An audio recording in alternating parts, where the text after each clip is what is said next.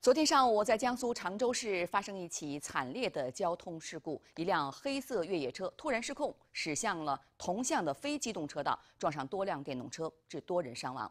肇事驾驶员徐某某已被警方控制。记者赶到现场时，看到警方已经拉起了警戒线，相关的救援工作正在紧张进行中。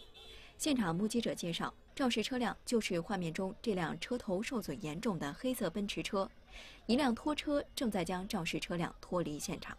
目击者称，肇事车辆沿晋陵中路由南向北行驶至九州新世界花苑东门附近。车辆失控驶入同向非机动车道，撞到正常行驶的电动自行车后，又在晋陵中路劳动西路路口撞到正在等红灯的电动自行车。事故发生后，伤者被送往常州市区的三家医院进行救治。